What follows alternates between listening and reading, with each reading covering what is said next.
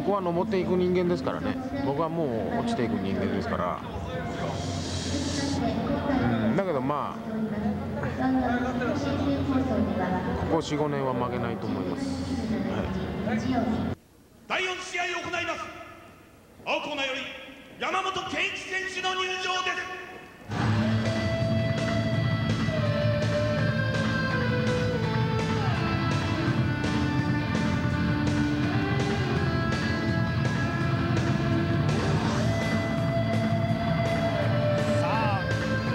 いを返してきました。3ヶ月ぶりのリング山県です。今夜はニューインター時代の先輩田村清との対戦。黒星やあるいは怪我などでこのところくすぶっていましたが山県は今夜スカッと勝ってすっきりするつもりです。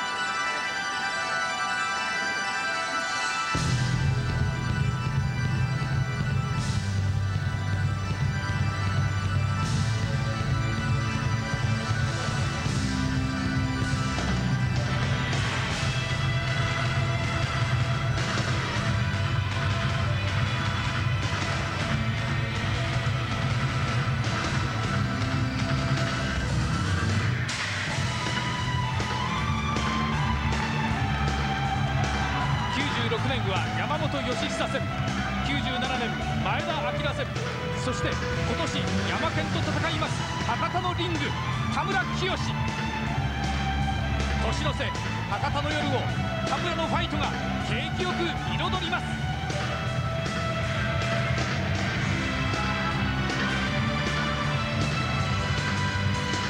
相手は自分が U インター時代の後輩にあたります山本健一。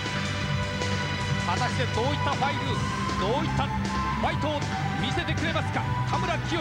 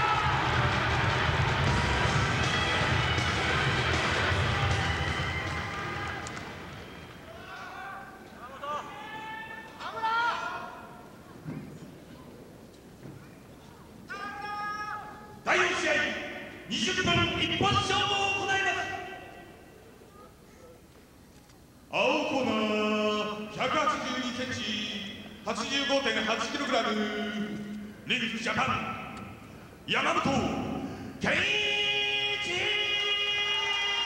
おお頭をそり上げた。山本健一まるでミニカレリンです。180cm90kg リンクジャパン田村清ランキングナンバーワン田村清です。第4試合熊子さん、はい、場内が沸きましたね山本健一。そうですねこの風貌ですからね。3か月もぶりのリングこのスキンヘッド。そしてですね右の腕二の腕にはタトゥーが入っています。まあ、あの試合前のこの表情から見てもですね、はい、この試合にかける意気込みっていうかですね思い、えー、これは相当なものですね。ニューヤマケンを見せることができるのかこの2人は初対戦になります。U インターの時には山本健一が入った時にはもうすでに田村清は雲の上の人でありました。当時のいわゆるまあナンバー2の位置にもうすでにいたわけですからね、はい、さあどういった戦いになるんでしょうか。この山本健一は、まあ、黒星が続いていたこともあります。それから右手の腱鞘炎もありました。それから頭部の打撲のための休養もありました、は？いそういったものを一切合切ひっくるめてこの試合にかけます。山本健一です。焦点から入っていきました。燃え上がっています。山本健一。黒と赤の対戦。投げ打った。速い動きは健在。田村清乗り越えていく。バックの取り合いだバックは譲りません。田村。入れ替わりました。もうすでに足を取っています。十字きますいや切れません。山県は勝つつもりでリングに上がってきました。そのつもりです。山本健一やるかもしれません。両者が分かれます。非常に体型的にはそのタイプ的には非常によく似たシルエットなんですが体重差は4 2キロあります。まあ、あのスキンヘッドの件なんですけども、あの山木選手ですね、はい、その怪我が治ってから、ええ、そのこの試合にですね、そのこの試合に向けての練習で没頭するためにですね、はい、まあ、あの沿ったということなんですね。えー、はい。あしかしあの少しドレッシングルーム覗かせてもらったんですけれども湯気が上がるほどのすごい練習をね、そうですね。試合前に繰り返してましたからね。それだと注目したのは体ですね。はい、えー、あの僕ウエイトアップしたのかと思ってらですね、はい、体がちょっと大きくなったんですけども、そうではなくてその絞り込んだ上で、その体重は前と同じと、つまり筋肉その分つけたということですね。そしてこの右の二の腕肩のちょっと下のあたりタトゥーを入れています。これはあの外国の神様だというようなことをちらっと言ってましたね。そうですね。あの理由はですねそのちょっと聞かないでほしいという話だったので、はい、え聞いてないんですけども、まあ、まあ、何かの思いが込められてるんでしょうね。はい、はいまあ、その山県選手がですね、まあ、あの入門した時、えー、田村選手はすでにナンバー2の位置にいて、はい。はい、ではもうそれをスパーリングでもボコボコにされてたと、えー、でも、まあ、田村選手のその付き人のようなことをやってたということですからね。えーえー、でまたそのたもとを上がってで別の道を歩いてきたのに、まだ再びここで巡り合ったと、えー、まあ、本当に運命的なものを感じたそうですね。2人の道がまたここでクロスしたわけです。これが本当の正真正銘の初対戦であります。大腰にかかります。それからあの田村清選手、同じくもう同じリングスジャパンなんですが金原選手ともやってないらしいですね。そうですね、はい。えー、これは金原選手の言葉であります。それも黄金カードの1枚になりそうですね。そうですね。とにかくこの試合 U ファイルキャンプというジムの名前を背負っています田村清一方は山本健一パワーオブドリームという看板を背負っています。道場主同士の一戦でもあります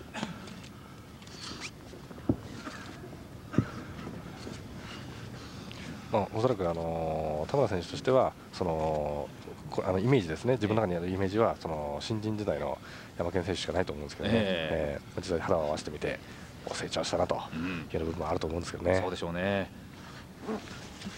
かつてここ田村清九州福岡では96年山本義久戦に始まりまして昨年97年は前田明戦ともに勝利を収めていますなかなか面白いカードが組まれるビッグカードが組まれるこの地でありますが田村清今回は後輩の山本健一との一戦が組まれました。足を決めに行きます。山県。リングスも今回は福岡にやってまいりまして回を重ねること6回目ということになります。93年から始まりましたこの福岡での地、えー、試合ですが最初は10月に行われていたんですが96年からは12月が恒例という感じになってまいりました。レグロックも取られてましたね、はい、山健選手の方が。アキレス腱固め。声を上げてるのは山健の方です。おアキレス腱固め。今一瞬。エスケープしますかね、ねそんな感じがありました。おっと。先に先輩がエスケープするのか。ポジションをずらしてきました気合を入れていくのは山県の方です。ああ溶けてます。まだ両者ロストポイントはありません。この試合は先ほどまでのランキング戦ではありませんので通常の20分一本勝負のルールです。足をこじ入れてきます。いわゆる亀の状態になっています。黒のコスチュームの山県三角か。読んでますね田村選手が、はい、三角締め。下からこのような体勢でどちらかの腕を取ってそして首を絡めながら足で。切っていま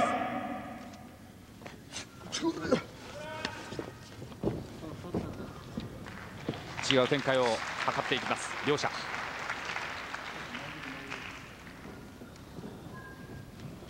今までの歓声が全くなくなりましたね、この試合。はい、そうですね、まあ、本当に行き詰まるようなここですよね、えー、ローキックを放ちました、田村。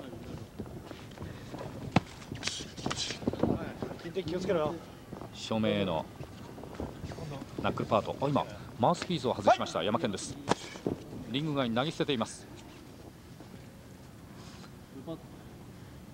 まあ、その同門時代のですね、まあ、あの話をちょっと山県選手聞いたんですけども、はい、まあ、田村選手はその非常に厳しい先輩だったということなんですけども、でも僕は比較的可愛がられた方じゃないかと思いますね。ダウンを取りました。自分は認めていませんがダウンを取られています。左小手カウンターになってましたね。そうですね。まあタイミング良かったですね。えー、はい。えー、これはダウンを取られてもしょうがないかもしれません。はい、ダウンです。2つのロストポイント。さあこれを受けて試合が動き始めたようです。今度は山県がいきます。これはアンクルホールドか。それを乗り越えていきました。田村。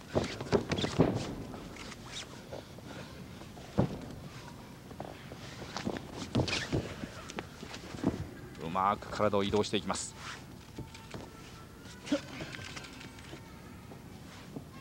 両者ともグラウンドの状態になっていますのでこの時点での打撃攻撃は有効になっています。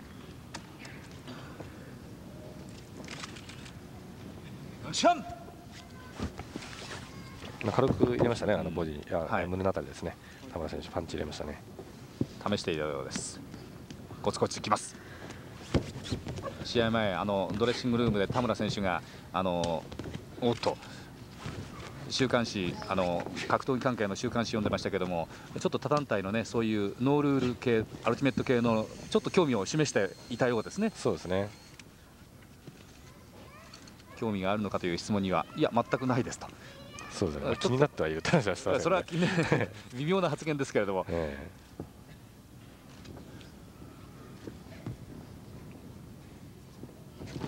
試合が動いているようで膠着しているようで独特の間になっています。重たい音が届きます。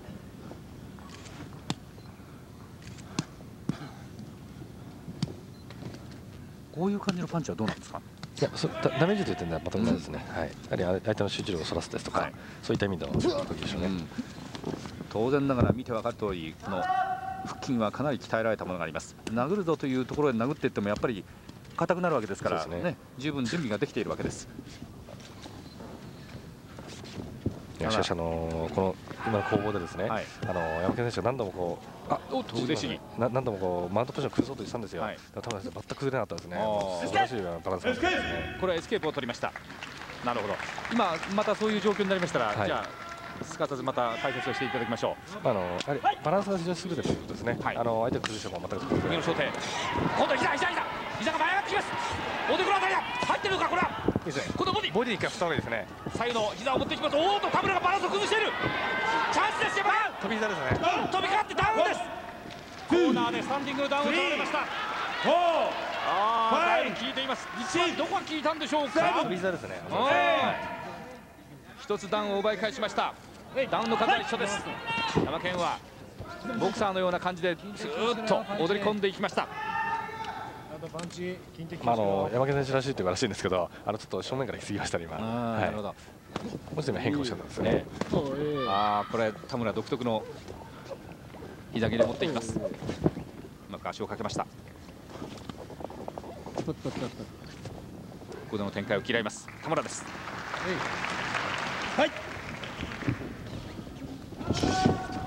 まず絶対に勝ちを得るんだということが絶対条件にこの試合を非常に山本自身が楽しみにしているような口ぶりでしたからね。そうですね、えー、はい、この思い入れという点ではですね、もう肩にのみたいですね、うん、まあ、本当この試合一本に絞って本当いい練習ができたと言ってましたからね。はい、先ほどまあ熊久保さんが言ってましたけども、まあ、まさに運命という言葉を出すぐらい山本はこの一戦にあるものを思い入れています。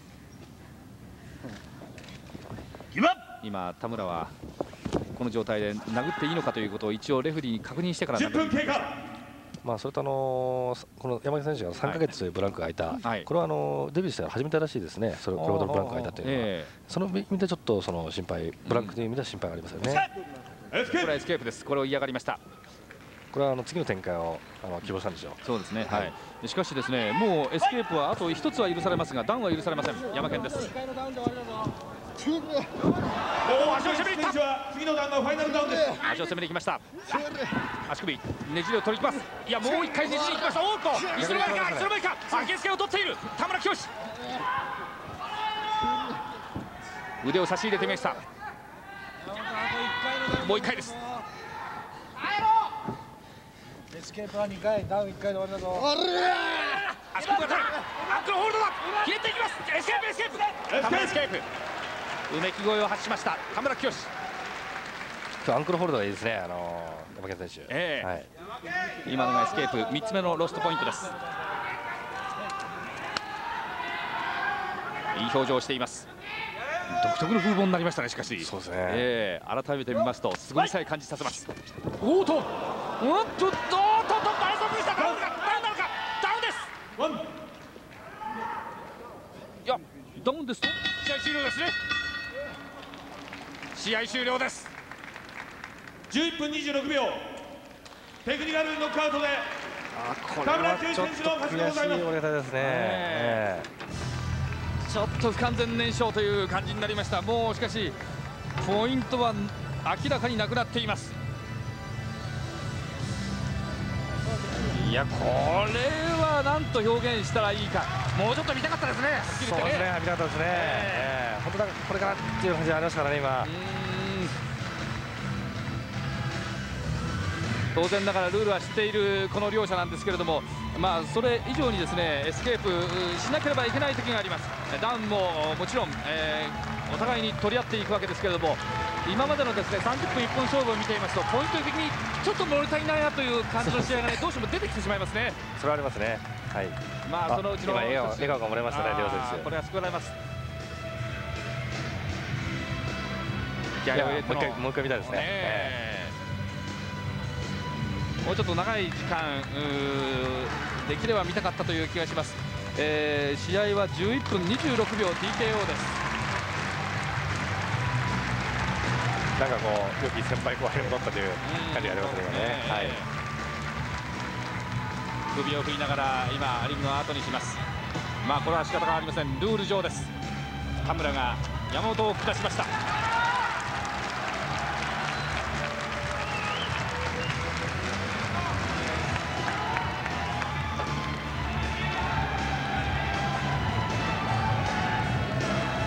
頭部を冷やしながらこの花道を引き上げていきます。山本健一。まだまだ隠されたものをこれからという時だったんですが次回見せてもらいましょう。ちょっとえらい力んでましたね。力んでた。力んだ。はい。ちょっともうちょっとお客さんを沸かしたかったなっていう感じがあるんですけど。なんか向こうももう若いんでちょっと力合わせちゃって。もうちょっとまあうん動きの中で展開があればなと思ったんですけど。最後はリング上ではどういったうん。いや向こうに聞いてくださいこれから覚悟しておいてくださいと。ね。これはあのこれであなたはほんまに目標にしてねリングスやっていきますんで覚悟しておいてくださいと、向こうも言いましたよ。俺のことどんどん恨んでくれと。恨んで強くなってくれはい強くなってあげましょうよね。そういうそれだけです戦わないで先輩後輩の間柄で別れちゃったから。やっぱりねいろんなことありましたからね。やっぱ俺はどっかで見返してやろうって気持ちがあったんだろうし。でも別に追っかけてきたわけじゃないのにこうやってリングの上で戦えるってことはやっぱ俺がさしたのかもしれないしそういう運命だったのかもしれないし。だからはっきり言って本当に吹っ切れたか吹っ切れてないか明日になってみないとうんはっきりとした答えは出ないかもしれない。ただ恨みつらみっていうのはリングに上がるとなくなっちゃうもんですね。